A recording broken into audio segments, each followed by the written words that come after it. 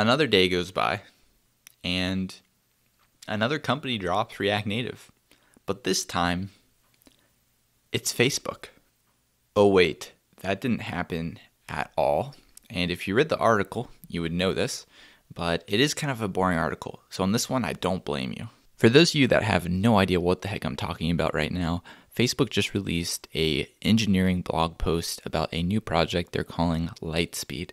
And basically what they're doing is rewriting rewriting Messenger, Messenger app, at least looks like only on iOS to start off with, to make it faster and smaller. But I actually thought the article was kind of boring because the way that they're accomplishing this is going back to more native code they already have native code in there, but they want to make it more so. And then also, it seems like they're making SQLite more of a thing that all the services talk to, almost like a source of truth.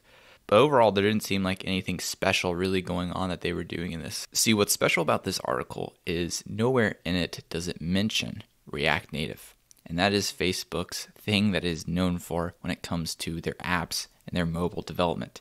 And they have just not mentioned it whatsoever, but they did mention there being more native, right? So it kind of sounds like what happened? Does that mean they switched from React Native? And as we'll find out later, they did not switch from React Native, but that is what everyone is wondering after reading this article. What happened to React Native? How come you didn't choose it for this particular project? And that, those these questions were not answered. I saw a lot of people asking about this, but probably the most popular one that blew up is from DHH and he said, Did Facebook just kill off React Native? I think it was pretty naive of Facebook not even to mention React Native in the article. Like, it's not hard to predict that that's what people would be wondering about after reading it.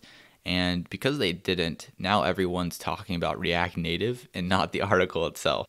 I know the author probably didn't even realize this is something that he should have addressed, and he probably wasn't even thinking about it. He may be just a native developer, and so his mindset is in the native world. But if I was Facebook right now, I would release a company-wide mandate that all blog posts that they release about, you know, mobile development and they're choosing a architecture that we're going to choose, just write a sentence at the end about why they did or did not choose React Native. Like all they could have added at the end there was for this particular project, we're optimizing for speed and we are optimizing for a low bundle size. Therefore, we did not choose React Native. And because they did not add that, I, as a reader, have to assume these things. So that was my assumption of why they did not choose React Native for this project. Um, but you know, it could have been something else.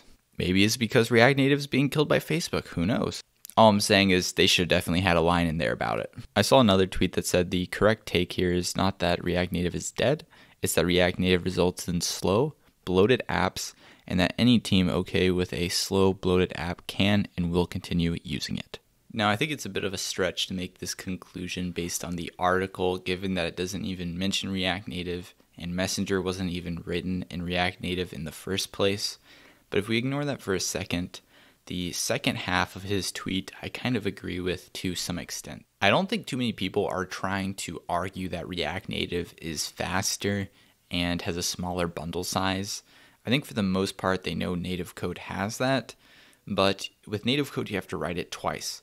And so if you can take advantage of the productivity gains of React Native and write that code once, that is pretty huge. And given that Facebook has 750 screens written in React Native, I would say a lot of times your app probably has a less of a performance and a bundle size requirement than Facebook does, and React Native would be a strong choice for you. See, the way I look at it is maybe the bar of what is acceptable is here, and native code may be down here.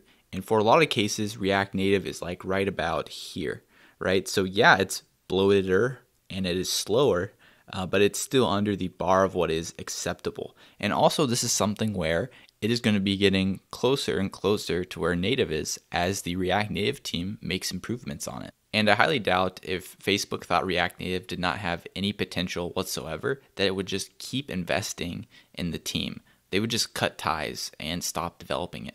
So, in conclusion, my opinion of React Native has not changed at all because of this.